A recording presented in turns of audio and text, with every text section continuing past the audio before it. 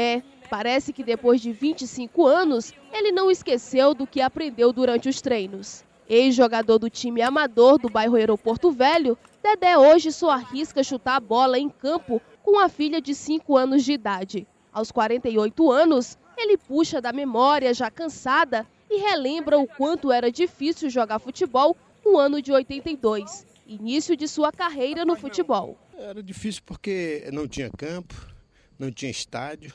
Hoje é uma maravilha quem quer jogar bola, quem quer ter um futuro melhor no futebol. Hoje tem tudo. Tem campo, tem clubes aí. É, na época era muito difícil. No ano de 86, Dedé foi obrigado a abandonar os campos e parar de jogar futebol, depois de machucar os dois joelhos em uma partida e não ter condições de fazer tratamento. Se eu parasse para tratamento, eu tinha que perder o meu emprego. Aí eu não podia perder meu emprego. Aí tinha que é, trabalhar e ficar na contusão até, até hoje. Né? Hoje, com 61 anos de idade, Dadão também lembra das dificuldades de jogar futebol naquela época. O ex-jogador jogou no Rio Branco, Atlético, Independência e no Juventus, onde até hoje é considerado o artilheiro dos últimos anos. Ele recorda que em uma partida contra o Floresta, ele conseguiu fazer nove gols. Dá para imaginar? Nove gols em um jogo apenas. Sou o maior artilheiro do Juventus até hoje porque eu joguei muito tempo no Juventus, acho que joguei uns 10 anos, computando a minha vida toda no Juventus, e fiz muitos gols no Juventus. Além das dificuldades, o atleta lembra do gol mais bonito e inesquecível que ele fez em um dos campos acrianos e que nunca vai sair da memória. Eu dei um lençol nos dois zagueiros e no goleiro ao mesmo tempo e entrei de cabeça sem a bola cair no chão. Esse eu acho que foi um dos maiores gols que eu fiz e, modesta parte, nunca ninguém viu fazer um gol desse. Esses dois ex-jogadores têm algo em comum: a paixão pelo futebol e as dificuldades que enfrentaram. É para reconhecer o trabalho de jogadores desse porte e que fizeram história no futebol acriano que foi criado nesta quarta-feira Associação de Garantia dos Ex-Atletas Amadores e Profissionais de Futebol do Acre, a AGAP.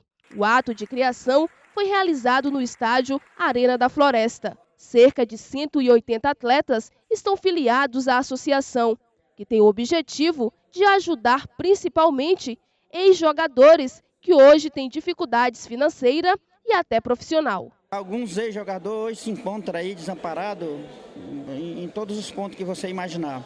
E a associação, o, o intuito da associação é realmente é, conseguir amparar esse ex-atleta de alguma forma, por conta de algum projeto que a associação possa é, produzir e elaborar. A associação vai incluir esses atletas em programas sociais relacionados ao futebol.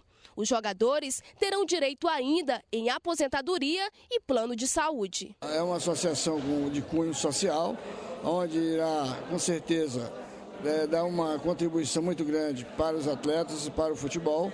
E ainda quero deixar outro esclarecimento que quando da próxima formação do nosso Tribunal de Justiça Esportiva, a associação terá direito a indicar um dos auditores. Para os atletas, a criação da associação é um sonho de muitos anos, que agora virou realidade na vida desses eternos jogadores e apaixonados pelo futebol. Hoje você fala de hoje e de ontem você não tem como falar. Então, a, é, criando essa associação, você tem como fala, falar tudo o que aconteceu antes.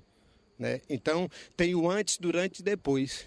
E a gente tem que buscar o, o, o antes. Então, chegou o momento agora de dessa associação dar essa alavancada com todos esses ex-jogadores, que com certeza é um pessoal muito brilhante. Isso é uma importância grandiosa, ainda mais que no momento que a gente conta com a adesão do, do governador Tião Viana e do senador Jorge Viana, porque eles têm interesse em fundar e têm interesse em ajudar, porque eles sabem da necessidade que tem aqueles ex-jogadores que na nossa época era muito difícil estudar, se você precisava é, primeiro ter condições para estudar e depois você gostar de estudar, porque você tinha que se dedicar ao estudo, mesmo não tendo capacidade nem condição financeira para fazer isso.